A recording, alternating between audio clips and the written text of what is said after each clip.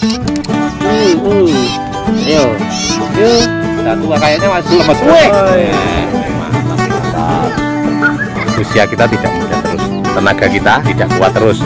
Mari kita tanam bibit buah-buahan mulai dari sekarang untuk pensiunan kita nanti di hari tua. Ayo kita majukan pertanian Indonesia. Bertani juga menyenangkan dan bisa buat hiburan. Selamat pagi, salam pertanian. Mudah-mudahan teman-teman semua selalu dalam keadaan sehat walafiat. Jumpa lagi dengan channel Agus Widodo, petani dan penjual bibit durian, penjual madu bunga randu dan penjual kuning-kuning tanpa merek asal Pati, Jawa Tengah. Pada pagi hari ini ya, kita mau tanam durian OC atau durian duri hitam. Nah, ini durian duri hitam kita tanam di sini ya, di belakang rumah ini sedikit ada lahan yang agak kosong walaupun jaraknya paling 8 meter dari sebelah sini. Dari sebelah sini ini 8 meter. Tapi sayang sekali karena kosong kita mau tanemin durian OC yang tingginya pirang meter gitu? Eh? 3 meter? 3 meter. 3 meter. Ini dulu bibit ini sudah sempat dibeli orang teman-teman ke Jakarta. Mau kita kirim. Waktu itu kasih puradan ya. Oh jangan lupa kasih puradan. Oh. Uh, se setelah mau kita kirim kita karantina. Waktu itu bibit ini dongkelan. Nah kita karantina malah rontok daunnya kuning dan habis daun. Oh, habis daun dan di situ bisa dilihat di situ ternyata sudah kena jamur dari sana. Langsung diserang penggerek batang. Waktu itu kayunya ketik, ke, kelihatan kering. Terus apa pangkal batangnya berontok. Akhirnya kita coba pindah di planter bag seperti ini. Dan Alhamdulillah bisa normal kembali ya. Bisa normal kembali kita tunggu sampai lama. Setelah ini kelihatan normal. Dan kemarin musim kemarin sempat berbunga di dalam pot itu walaupun rontok. E, terus akhirnya kita mau pindahkan di lahan ya. Sayang sekali karena kalau seandainya kita kirim keluar daerah juga susah ya. Keluar kota juga susah karena tingginya sudah 1 2 3 meter lebih dan planter bag kita pakai 300 liter. Jadi kalau kita kirim ya susah nyanggrok nyanggrok ya. Kalau kita bawa di jalan takutnya malah nanti kesangkut kabel atau kesangkut apa malah rusak. Dan kasihan yang beli juga. Ini akhirnya kita tanam aja. Nah, kita tanam dengan media tanam ini seperti biasa sekam campur tanah furadan jadi sekamnya 30% sampai dengan 40%. Nah, nanti kita tanam di sini. Ini kita mau coba tanam agak naik ke atas saja ya karena di sini tuh apa di bawahnya itu bekas buangan sampah teman-teman. Jadi di situ tadi banyak plastik, tali-tali rafia, bekas-bekas plastik itu Indomie Sarimi itu di dalam dulu nggak dibakar ini kita ganti nanti dengan media tanah yang atas tanah atas. Dan kita tanam mau apa nggak naik ke atas tanamnya nanti biar apa aman nggak bacekan karena tanah tanahnya ternyata di dalam tadi lengket bisa nanti kita kasih lihat. Nah ini tanah yang bagian bawah ternyata seperti ini ya dan banyak-banyak limbah kayak plastik ini eh, makanya nanti kita ambil kita ganti dengan media tanah merah kita ambilkan dari luaran sini. Ya nanti kita uruk dulu sampai kira-kira nanti separuh lah separuh yang ke atas separuh lebih yang ke atas nanti. Nah ini penampakan bibitnya. Udah gede ini. Ini kalau bibit segini ini kalau dibawa keluar kota ya sangat repot sekali ya teman-teman karena itu loh batangnya sudah segini tapi memang ini dulunya memang bibit besar pesanan ya dulu dulu jadi dulu itu pesanan tapi karena di sini juga apa luka di sini juga waktu itu dari sini ya kena jamur penggerek batang itu sampai ini keluar kayak bubuk kayak gitu. Akhirnya kita obati kita oles dengan antrakol dengan insek kita oles dan media ini kita apa apa dongkelan kita masukkan ke dalam planter bag lalu kita siram antrakol juga dengan insek. Selang berapa waktu ini sempat rontok kuning dan setelah pulih sekarang itu mau kita tanam. Jadi butuh waktu sekitar satu tahun saya ngerawat ini sampai apa? Ini sampai bibitnya pulih. Jadi memang dari semula memang bibit ini tingginya segini belum berkembang. Cuma apa terubus lagi dan nyabang lagi kayak gini. Nah, kita uruk lagi aja bang. Tinggi aja ini nanamnya buat percobaan yang lebih tinggi. Cara apa itu bang namanya bang? Aja jangan asal loh bang. Ini ya gak apa-apa dicoba. Nanti kita bikin. Nah, kita uruk lagi uruk lagi dengan campur sekamnya kayak gitu teman-teman. Hmm, ini ya seger lagi daripada dulu kehilangan apa ini kelangan. Soalnya ini dulu belinya bibitnya sudah lumayan mahal. Oh, waktu itu kita beli itu karena pasak pesanan bibit ini rimbun empat penjuru. Akhirnya ini loh ada kering kayak gini. Oh, dulu kering kering kering terus akhirnya habis itu cabangnya kering itu baru tumbuh lagi ke sini. Ini sampai satu tahun dan nunggu. Ke atas juga seperti itu ujungnya juga kering waktu itu jadi akhirnya yang semula kita foto rimbun daripada kita disalahin sama yang beli akhirnya kita kembalikan uang mukanya. Dulu waktu itu harganya mahal teman-teman. 2 juta setengah saya jual itu. Oh, jual. Karena memang bibit ini dulu rimbun banget. Rimbun empat penjuru. Bagus banget lah istilahnya. Kalau duri hitam waktu setahun yang lalu itu tingginya 3 meter lebih karena itu ujungnya patah juga. 3 meter setengah tidak salah waktu itu kita tanam aja lah. Mudah-mudahan nanti berbuah jadi pulih juga ini modalnya nanti. Nah, kita coba masukkan. Satu dua et. Oh aja kurang eh wes mono. Wes dua ya wes. Wih mantap. Mau bang mau bang kue kue ngalor kue ngalor Ayo, yus. Awas lo pakang lo. Ayo neh. Satu dua, eh, neh satu dua. Eh, satu dua sidik kas. Up, up, up, up, up, up. Nah, itu bawah ini sore lek. Bawahnya kasih seperti biasa. Awas, yo sik. Tahan ya. Tahan lo, tahan lo. Nganu lek ngisore lek ngisore. Lah sasabi lo masih di sidik lalu ditutup tanah sedikit-sedikit ya oh, itu. Hop hop hop hop. Ya. Nah, lalu kita iris. Kau samping nggak lale? Kau kono? Oh, jahitan. Masa tangan eh berdirikan lagi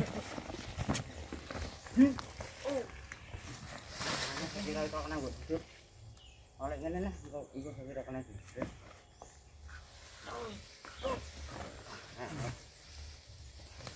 Iya. Ya? Kurang ulon sidik, jejeke kurang ulon sidik. Op, sip. Sidik kas, Lek. Jejek sidik. Op. Oke, okay. op, op, op. Op, sip. Ganteng lalu kita buka ya setelah itu tadi bawahnya di lepas lalu kita buka. Oh teh. Nah, dan ini akar sudah seperti ini ya teman-teman. Jadi nanti insya Allah nanti cepatlah perkembangannya ya. Awas alon-alon dek. Alon-alon dek. Itu itu itu berapa kilo lemas ya, bu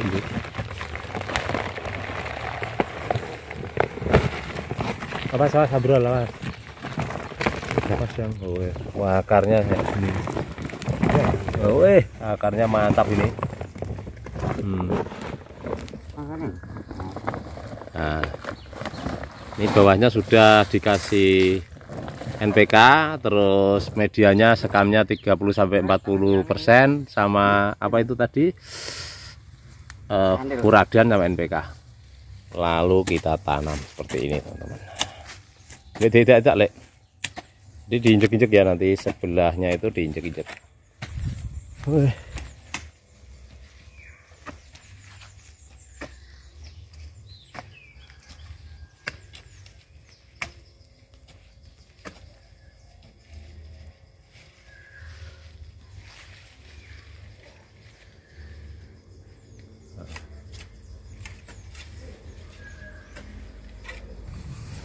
seperti ini.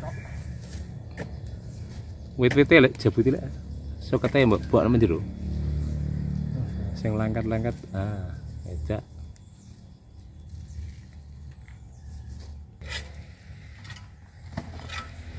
itu harus dikeketkan ya diinjek-injek ya. Kalau tanam durian itu apa sama diinjek-injek kayak gini Nah, kalau tanam durian ini ya, ini pengalaman saya sendiri. Kalau karantina aja bibit durian yang tingginya 3 meter seperti ini itu sangat susah sekali. Saya sudah ada dua kali ya mengalami kegagalan seperti ini.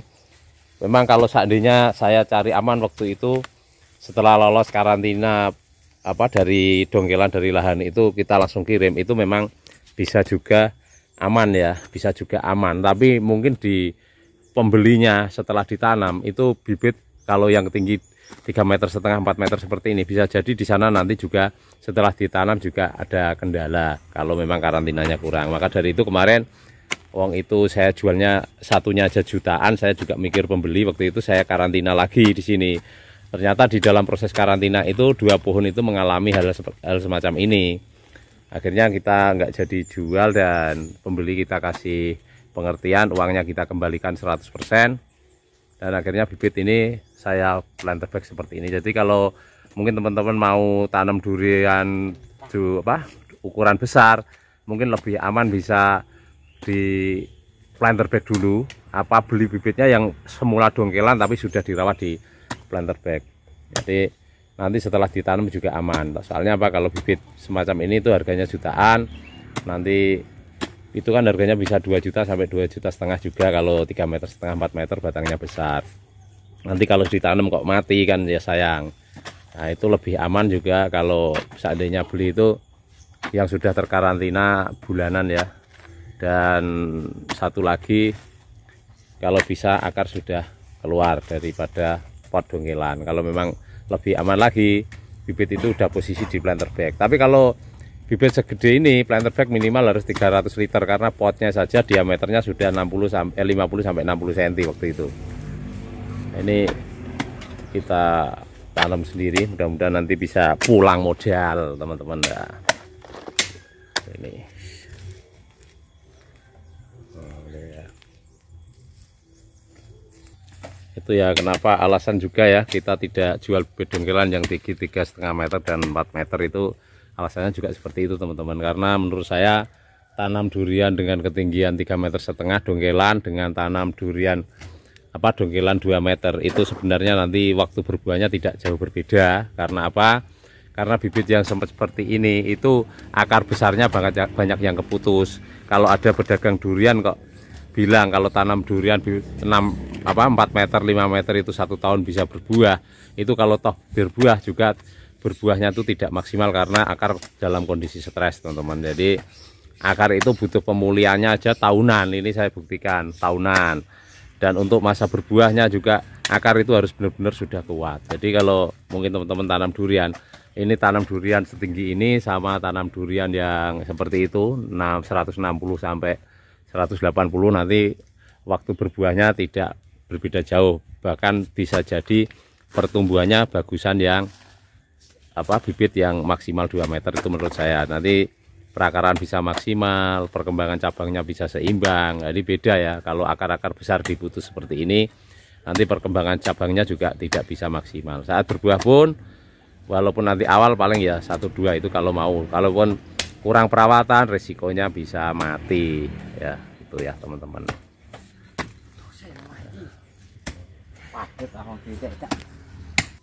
Wah ini kalau nanam bibit besar ini ternyata butuh tenaga banyak ya. Bari ngangkut sampai nimbun kayak gini nih tanahnya harus lebar teman-teman. Nah, Ini ya seperti ini.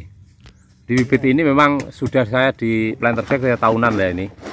Jadi kalau kita tanam nanti dua tahun lagi ya sama dengan tanam di lahan tiga tahun. Karena ini planter bagnya 300 liter pertumbuhan akarnya juga lumayan longgar itu kemarin kadang ada yang bertanya kalau di Tambulampot gimana Pak durian? Jadi durian itu butuh perakarannya harus lebar. Kalau di Tambulampot mungkin 500 liter bisa berbuah. Tapi durian untuk di Tambulampot sendiri saya belum pernah melihat kalau durian di Tambulampot itu buahnya banyak. Jadi ada juga satu dua ya. Jadi tetap lebih maksimal dilahankan. Kalau untuk durian sendiri kecuali alpukat mungkin masih bisa. Kalau potnya besar masih bisa buahnya banyak ya kak bikin gunduk. Tadinya mau dibikin cara apa bang? Yang ke atas ngeluncup itu besut besut apa apa itu. Tapi gak jadilah. Nanti ngabisin tanah cari tanahnya susah. Nanti ya ini aja. Cara pokoknya gundukannya gini ya. Ini agak naik ke atas gundukannya biar nggak bacakan bentar ini ya. Oh. ini apa ini. Ini yang makanin apa? Akar itu red gendot. Oh ambil tanahnya sampai di luaran kayak gitu teman-teman. Padahal gundukannya ya sedang nggak terlalu tinggi.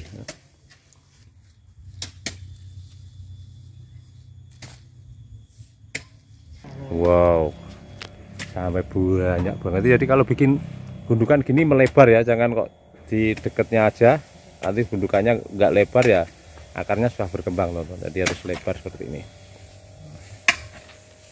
nah ini nanti karena ini musim hujan cukup ditaburin antrakol nanti kita tetap kita siram ya. Kalau habis tanam itu walaupun musim hujan harus kita siram. Ini kasih puradan juga. Hmm. nanti tetap tambahkan antrakol lagi. Ini kira-kira ya satu sendok dua sendok lah. Kalau pohon besar seperti ini. Ini tinggal merapikan.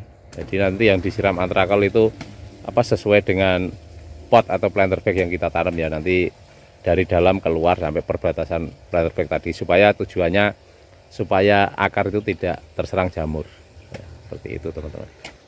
Sama yang satunya lagi pori-pori tanahnya harus apa itu? Rongga-rongga tanahnya yang di dalam itu biar kekat biar nutup. Nanti perkembangan akarnya tidak terganggu. Kalau rongga-rongganya kebuka yang di dalam itu nanti saat akar berkembang kalau nggak diinjek-injek kayak tadi nggak disiram saat akar berkembang juga akan terganggu ya. Ya bisa malah nanti kering. Jadi harus diinjek-injek ya kalau tanam seperti ini tidak ada sale wis togales nak kono hop tidak eh. Das wis. Dek hmm, seperti ini. Lalu disiramkan merata mutar. Nah nanti tinggal kita tambahkan air lagi supaya bisa kekat ke bawah ya. Nah, terima kasih. Uh, mudah-mudahan bermanfaat.